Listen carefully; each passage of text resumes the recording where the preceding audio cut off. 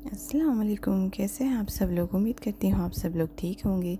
तो यहाँ आपके साथ में कीमे के रोल की रेसिपी आपके साथ शेयर कर रही हूँ। तो चलिए बिस्मिल्लाह करते हैं। यहाँ पर मैंने 500 ग्राम कीमा लिया है। और यहाँ मैं इन्हें ऑनियन लिया है, इसे मैं चॉप कर लूँगी और इसे में ही शामिल कर लूँगी।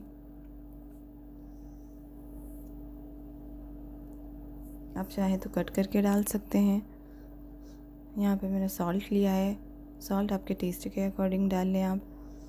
और यहाँ पे red chilli half teaspoon garam masala half tea spoon आप ज़्यादा भी ले सकते हैं, आपको तीखा पसंद है तो। Coriander powder one table spoon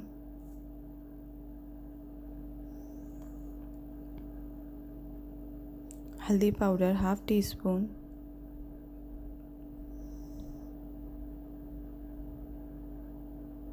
black pepper one teaspoon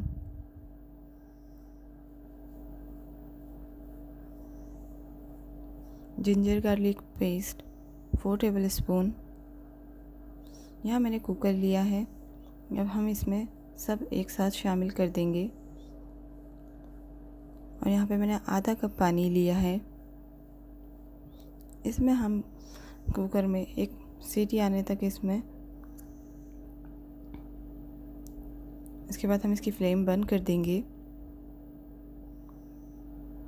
और जो ये पानी बचा है इसमें, उसे भी हम बिल्कुल ख़त्म कर लेंगे। ये रेडी है हमारा कीमा। इसमें हम पुदीना शामिल कर देंगे। मेरे पास फ्रोज़न पुदीना है, आपके पास फ्रेश होता फ्रेश शामिल कर लें इसमें। ग्रीन चिलीज़ सात से आठ। ये फ्रेश धनिया।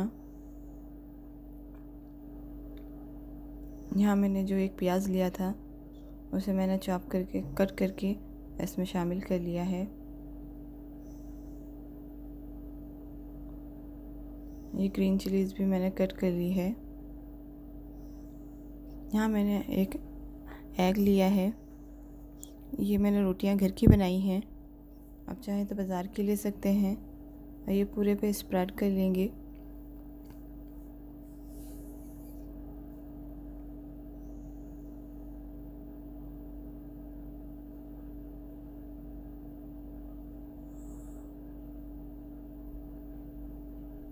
आप चाहें तो इसे रोल बना लें, चाहे तो और कोई शेप बनाना चाहें तो भी बना सकते हैं।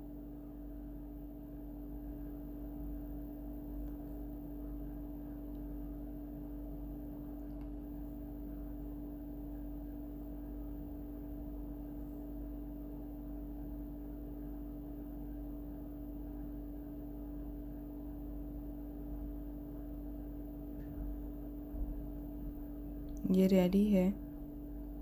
तो आप इसे फ्रीज़ करके भी रख सकते हैं। और जब आपको ज़रूरत हो, आप इसे फ्राई कर सकते हैं।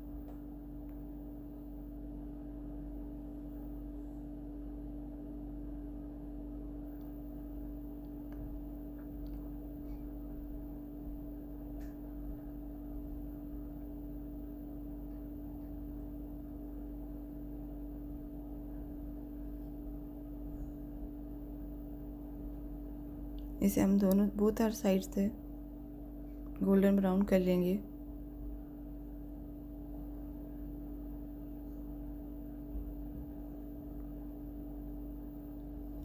ये क्रिस्पी से रेडी हैं कीमे के रोल।